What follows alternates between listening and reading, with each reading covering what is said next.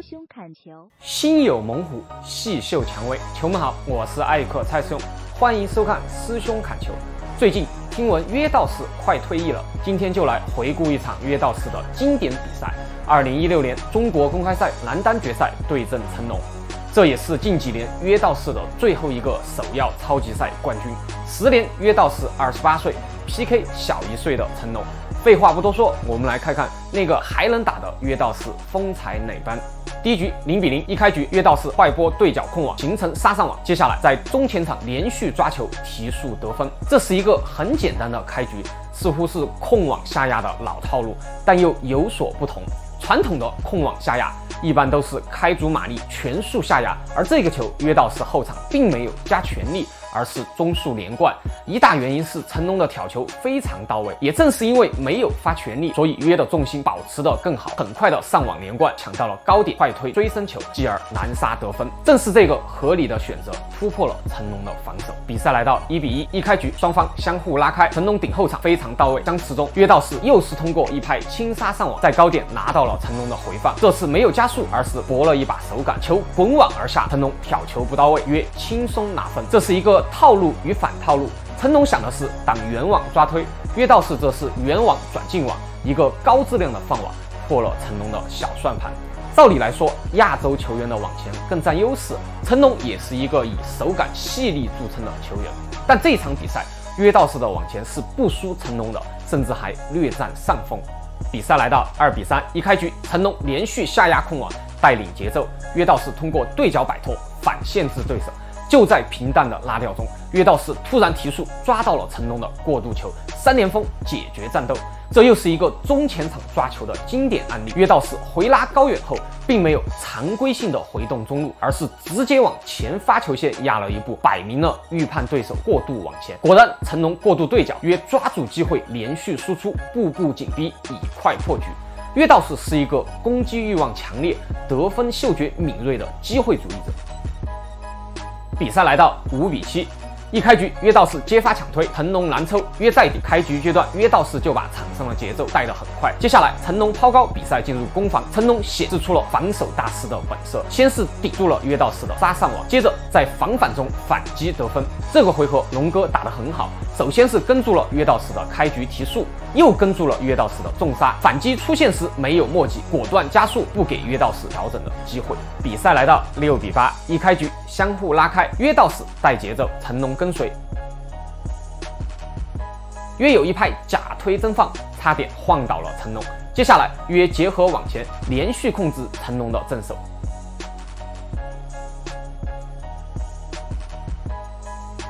相持中。约道士抓住成龙的一拍抛高，突然提速突击对角得分。前面看多了约道士中前场抓球的套路，这里后场的进攻也来了，看起来力量不大，但落点很边。比赛来到八比八，一开局双方斗网，约占优，成龙起球。约道士强攻对角得分，这个案例和上一分差不多。别忘了，约道士是欧洲选手，天生就具备硬派的一面。不说多了，后场杀球速度三百加以上，随随便便有的。比赛来到九比九，约道士接发球控网强攻得分，这一段约道士明显开始提速抢分了，这拍杀球速度三百六十公里每小时。比赛来到十比九，这一分是一个跟随球的较量，双方都在球路上做文章。约道士更加出彩，一个接吊转勾球，一个接杀转勾球，球路上更占上风。也正是利用对角球的限制，让成龙上大斜线，而约道士只需从中场上对角，拿点更加主动，秀了一把假推真放。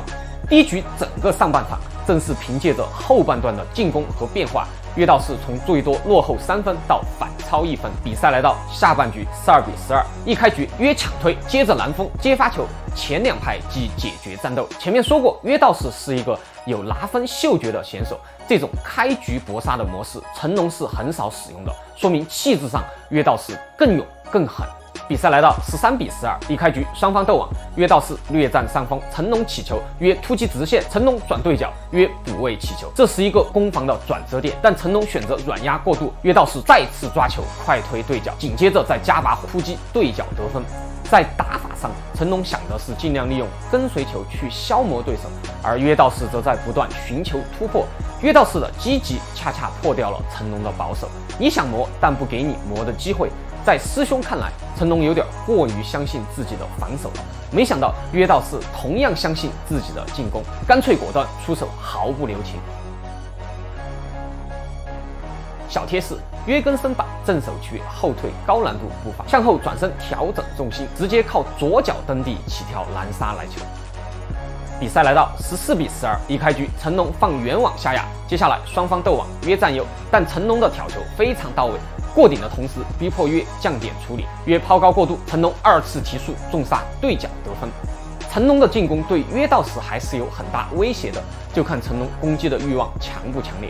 约道士也是狠人。这拍接杀球，师兄似乎，听见了价值一千块的咔嚓声。比赛来到十四比十四，这个回合非常经典。约道士一直在蒙球加速，又一直加不了全速，双方不得不在线路和节奏上斗法。最终，成龙靠一个停顿的分球换掉了约道士的重心得分，这是成龙非常喜欢的节奏。在相对中性的速度环境中，靠稳定去跟随，靠变化和质量去得分。这一段整体来说，成龙打得更好，比分从中局的落后到追平。比赛来到十四比十五，这是一个成龙主导节奏的回合，约道士几乎没有下压的机会，多在下手球跟随。但不管成龙怎么快怎么变，都没有甩开约道士，最后反倒是成龙自己在往前失误。师兄认为约道士更多赢在心理上，心里那口气咬得很紧，而成龙恰恰在关键时刻松了一口气。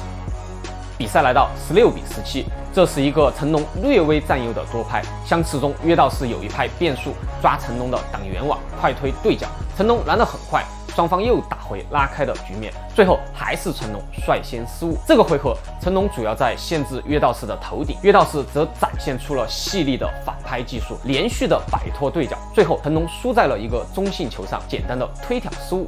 在这场比赛中，成龙没有师兄想象的那么稳，约道士却比师兄想象的要更细。比赛来到十九比十七，一开局约限制成龙头顶，成龙反拍过度直线，约抓到过度反抽对角得分。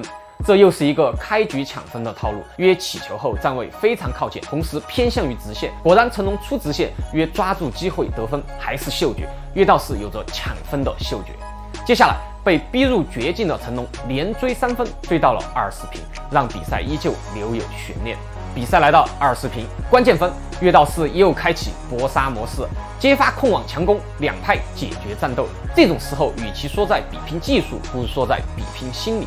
比赛来到二十一比二十，局点，再次被逼入绝境的成龙也开启了搏杀模式。约道士有所准备，倒地化解了成龙的重杀。接下来一拍主动球，成龙操之过急，推球失误。约道士有惊无险地拿下了艰苦的第一局，接下来的第二局，成龙心中那口气就有点泄了，大比分丢掉了比赛。恭喜约道士，这很可能是道长的最后一个公开赛冠军了。山高水长，江湖再见，心有猛虎，细嗅蔷薇。好了，今天的节目就到这里，送给喜欢约道士的球友们。今天的话题就是聊一聊你记忆中的约道士。